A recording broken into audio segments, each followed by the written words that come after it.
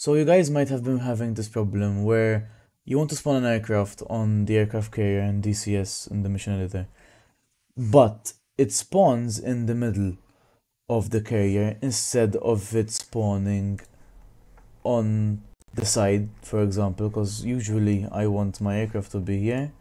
Let me show you what I mean. So you are spawning like this, right? And you want to spawn on the elevator right there. So what you would do is come here. Let's make this 4 right? And let's set the name to AI we go to the left on the triggers. We press new. And then we name it remove AI and then we go on this new button. And then we go down to time more. We set it to 1 and then we press new again and we search up group deactivate and the group is automatically AI for me because the, the that is the only group and I don't want to despawn the carrier. Uh, you spawn I'm gonna spawn my plane here I'm gonna put it on the ramp as well here we go. Yep.